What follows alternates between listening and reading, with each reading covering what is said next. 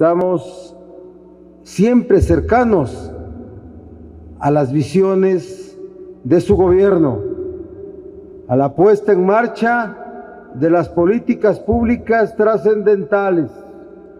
Y hoy este es un momento donde hay que todos poner en marcha acciones comunes.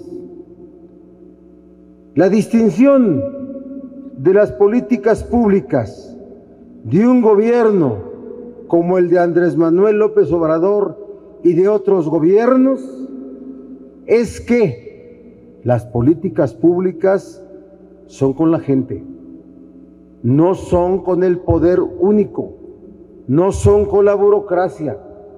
Solo así pueden funcionar en este país tan diverso, tan plural y tan poblado. Ese es nuestro convencimiento. Esa es la característica de las políticas públicas de los gobiernos que emergemos del gran movimiento de 2018, pero con las luchas de años anteriores. Esa lucha que encabezó Andrés Manuel López Obrador. Todo con la gente, todo con el pueblo.